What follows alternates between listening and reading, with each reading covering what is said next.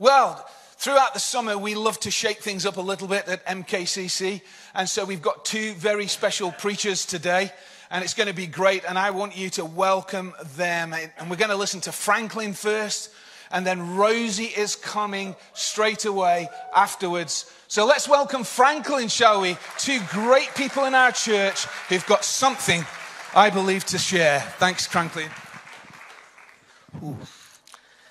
Good to feel without the mask. So, good morning, church. Good morning to everybody watching online. Um, greetings to you all in the matchless name of Jesus Christ. So, for those of you who don't know, I'm Franklin. I've uh, been uh, part of the MKCC church for the last five years. My family's here, my little ones. Um, happy. Um, so we we part of this church uh, for the last five years, and my children enjoy going to Discovery Kids. So it's a great place, right?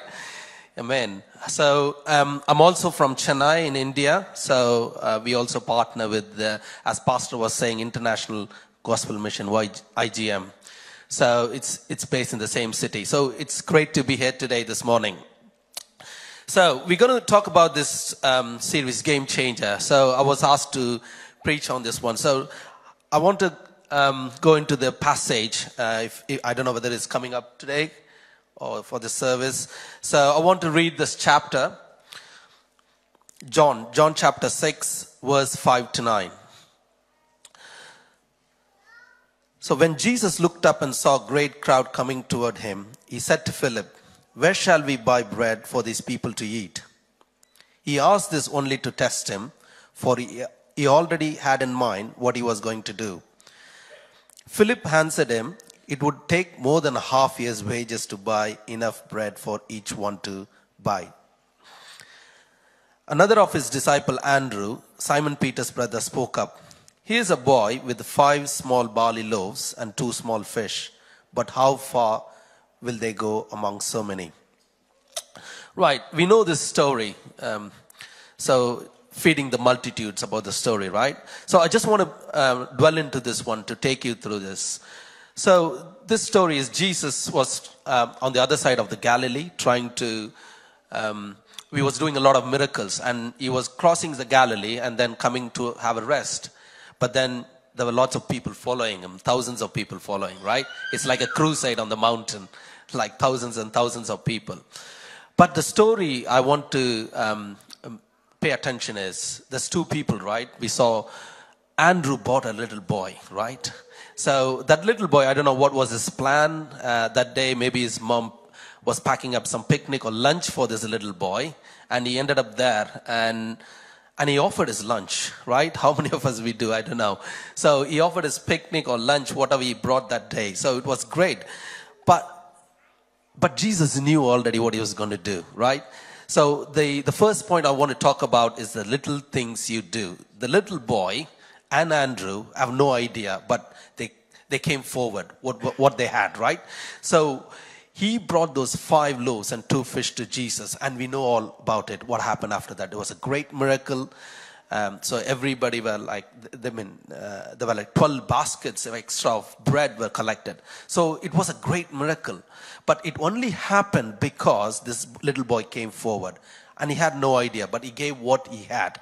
So this is my first point I want to talk about is this little things you do. So big, th- big things often have a small beginnings, right? So we don't need to chase all the big things all the time. It's the small things that do you in your life makes a huge impact. So I was thinking about what a game changer means, right? So it could be a lot of things, but I just came up with something like game changer is a person whose action or contribution has brought an outstanding result or a great outcome. In this story, the great outcome is a miracle. With the little, the what the boy did, it became a miracle, right? So, the, the, I mean, in everybody's life, you have a, these small things. I mean, we were hearing about from Mark about the volunteers, whether it's in the car park or within the auditorium or in the DK. So you all do little things. It goes far, far, far. In my personal experience, uh, many, many years ago, I um, was in high school and I happened to be in the exam hall uh, with, I mean, with my classmates. Uh, one of my friend just turned back and said to me, "Oh, um, I've lost my pen." So it's probably we are already nervous, you know, in exam hall. I'm nervous always. So he lost his pen. Uh, unfortunately, I had to. I had shared with him. I forgot the story. But this time in 2021 in April, I wasn't in India and happened to meet uh, this chap, and he's established himself well. He's an ENT surgeon. He's got his own clinic. Uh, he reminded me about two things. Uh, Franklin, I just uh, say, I talked to all my colleagues, my family, that I had a one friend uh, from my school, and it's Franklin. I didn't even know that. Uh, he said that the reason for that is he, he brought this story back saying that you shared a pen. I can't even remember, but he said, You shared a pen with me that made a huge difference. He was a class topper, of course, he did well. And the other thing he said is, uh, many times we have spoken, he always said about, I'll pray for you. And he was a non believer, non Christian. So it was good to hear that, right? So you never know what your words, what you leave with them, make that impact. So we all have this uh, small things, this little things. It makes a huge impact. I'm always um, inspired to read about Mother Teresa. Uh, we all know about Mother Teresa's missionaries of charities. Uh, they do lo- they did a lot of things in India. So what what Mother Teresa did is she she do things without any expectation, right? She didn't have anything, so she goes out helping orphanages or destitute women, um, and also she get down and help people, medic, I mean, uh, um, wrapping the wounds or many things we heard about. She said this one: "I don't do great things; I do small things with great love." Right? So I don't do great things; I do small things with great love. So th- th- th- that's a key message, right? That's what Jesus is expecting. Not everybody can do great things, or not, Jesus is not expecting everybody to do great things. If you bring those five loaves and two fish to Jesus, it could be a blessing to many. It could be a, a difference to someone, right? It could be a miracle as well. So I want to encourage as a church, hallelujah. Yeah, we can make a difference, right? We can make a difference when we heard about that um, what we do in the food bank for the baby food. We I mean we, we had a um, I mean uh, the uh, they were asking for a baby food. So you can make the difference this week into the families, into our communities. The food bank does, does a great thing, right, in this community. So I would encourage you, right? There are many things you do, many things you do. So let's let's um, support our food bank for the baby food as well.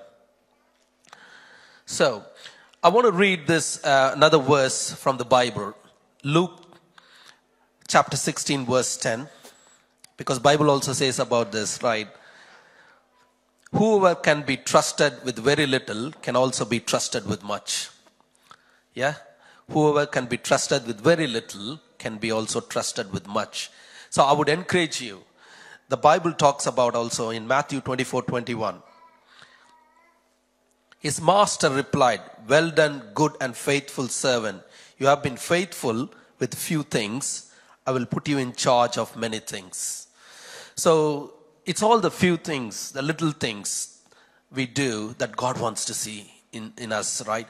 So I want to encourage you that whether you are a volunteer or whether you are in, out there in the world, in your workplace or anywhere, right? So the small things makes a huge difference. So I was thinking, so I was talking about the little things you do, and then the second one, probably I was just highlighting about Mother Teresa. I mean, uh, you do things without expectation.